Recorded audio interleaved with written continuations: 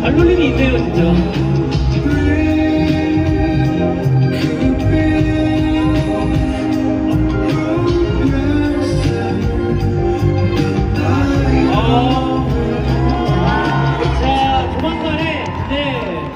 어렵다. 이 챌린지가 네, 이제 영상으로 네. 공개가 될 겁니다. 와. 자, 아쉽지만 저희도 이제 다음 무대를 또 준비를 해야 됩니다.